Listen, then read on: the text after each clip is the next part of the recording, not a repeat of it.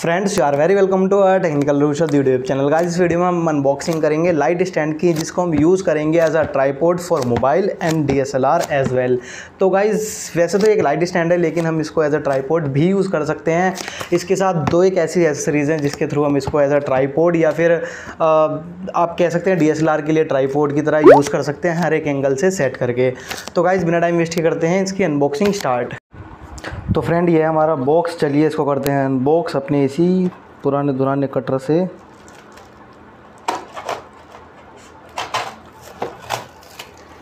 तो यहाँ से हमने इसको करा कट और जैसे हम इसको ओपन करेंगे तो गाइज़ जैसे हम इसको ओपन करेंगे, यहाँ पे एक हमारी एक्सेसरीज़ है, जिसके अंदर क्या करेंगे, अपने फ़ोन को यहाँ पर इस तरीके से हॉरिजॉन्टली लगाते हैं और ये खिंच जाती है और ये फ़ोन को कैच कर लेता है।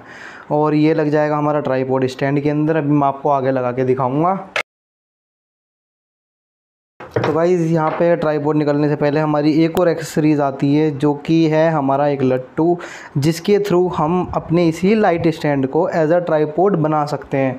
और गाइस कैसे? वो मैं आप को अभी आगे वीडियो में दिखाऊँगा कि इसके थ्रू हम कैसे अपने फ़ोन को हर एक हॉरिजॉन्टली वर्टिकली हर एक एंगल मतलब 360 डिग्री घुमा सकते हैं और इसको एज अ ट्राईपोड यूज़ कर सकते हैं इसी लट्टू के थ्रू तो गाइस इसे रखते हैं साइड और यहाँ पे, करते हैं। तो गाइज़ ये है हमारा ट्राईपोड और इसको यहाँ से भी कर लेते हैं अनबॉक्स तो गाइज़ ये देखिए, ये है हमारा ट्राईपोड अब गाइज़ एक मिनट में आपको इसको दिखा देता हूँ। ये जो है हमारा, ये है सात फीट का हमारा ट्राईपोड और यहाँ से आप देख सकते हैं किस तरीके से इसका मैकेनिज़्म काम करेगा।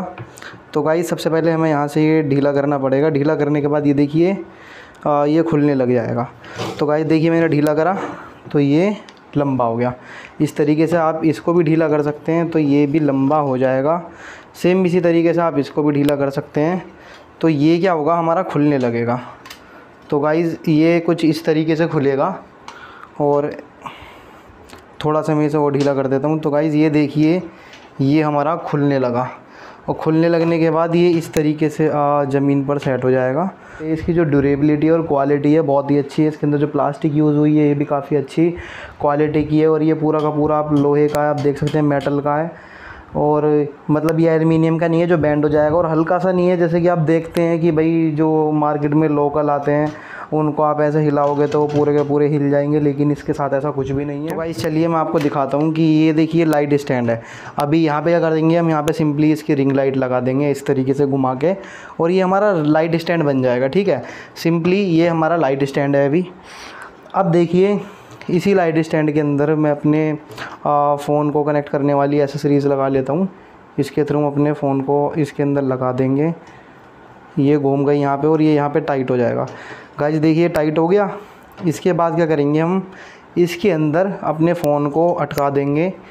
अभी ये लाइट स्टैंड के अंदर हम सिर्फ़ इसे लगा के, जो कि मैंने तीस रुपये की ख़रीदी थी, बीस रुपये की ख़रीदी थी एक्चुअली तो इसके अंदर हम अपने मोबाइल को लगा के इस लाइट स्टैंड को as a normal tripod use कर सकते हैं। अभी देखिए एंगल हम इसका वेरी नहीं कर सकते। ठीक है, ये किसी भी एंगल पे एडजस्ट नहीं हो सकता। अब अगर हम इसे एडजस्ट करना है किसी भी एंगल पे तो हम इसे खोल देते हैं। इसे खोलने के बाद ये जो हमारा लट्टू था, जो कि मैंने आपको दिखाया था कि इसका यूज़ मैं बाद में दिखाऊँगा आपको, इस लट्टू को इसके ऊपर टाइट कर देंगे। तो गाइज़ देखिए ये जो हमारा लट्टू था, इसके ऊपर ये पूरा का पूरा फिक्स हो गया। ठीक है गाइज़ अब देखिए, इस लट्टू पे क्या करते हैं हम? इसको लगा देंगे।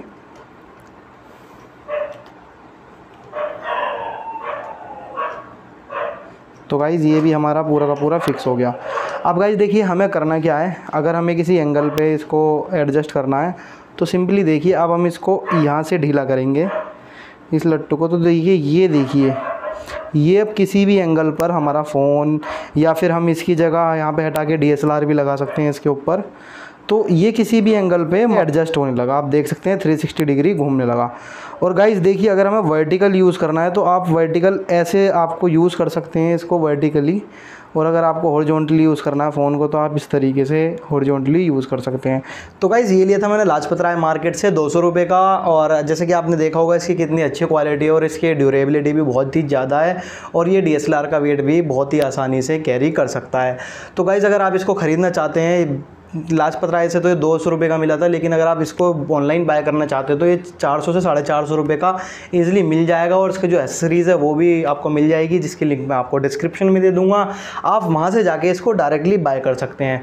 गाइज़ इसके बाय करने के दो फ़ायदे हैं। पहली बात तो ये as a light stand use हो जाएगा और दूसरी बात है कि एज अ ट्राईपोर्ड यूज़ हो जाएगा। और तीसरी बात ये है कि या तो इसके अंदर आप लाइट और एज अ ट्राईपोर्ड इसको मोबाइल या फिर डीएसएलआर दोनों एक साथ भी लगा सकते हैं जिसकी एक्सेसरीज़ वो जो लट्टू सा है, उसके थ्रू आप इसको फिट कर सकते हैं।